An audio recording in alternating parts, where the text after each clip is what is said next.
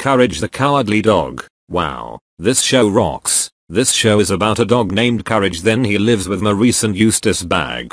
Unfortunately it got cancelled in 2002, and unfortunately it got taken off the air in 2015. Do you know who likes this show? Timmy Turner from The Fairly Odd Parents. And do you know who hates this show? Baron from Rise of the Teenage Mutant Ninja Turtles. Courage the Cowardly Dog rocks, and so does Sesame Street. Apple and onion sucks, end of salute.